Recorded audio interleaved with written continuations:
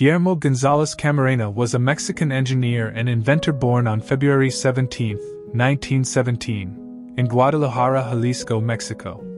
He is best known for inventing the color television system and for his contributions to the development of television broadcasting.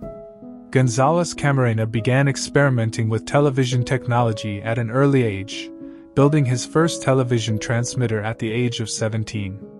In 1940, he invented the chromoscopic adapter for television equipment, which allowed color images to be transmitted via television signals.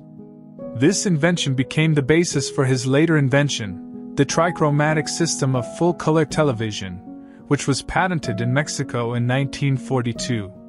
Gonzalez Camarena's color television system was later adopted by several countries, including the United States and became the basis for modern color television broadcasting.